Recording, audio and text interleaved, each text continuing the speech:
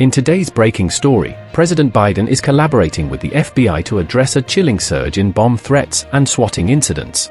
Lawmakers and key figures in Trump's cabinet are the latest targets of this growing menace. This week, several high-profile individuals, including Rhode Island Representative Seth Magaziner and Trump's cabinet picks Pete Hegseth and Lee Zeldin, were hit with bomb threats and swatting attempts. These hoaxes caused chaos but thankfully resulted in no injuries. Swatting, a dangerous form of harassment, tricks police into responding to fake emergencies with force, putting lives at risk. Biden has assured the public that his administration is working closely with the FBI to trace and eliminate these threats. Democratic House leader Hakeem Jeffries also made it clear that such intimidation won't deter lawmakers from serving the people. The wave of threats comes at a politically charged time, and it raises concerns about the safety of public officials and their families. Law enforcement experts are ramping up efforts to crack down on this alarming trend.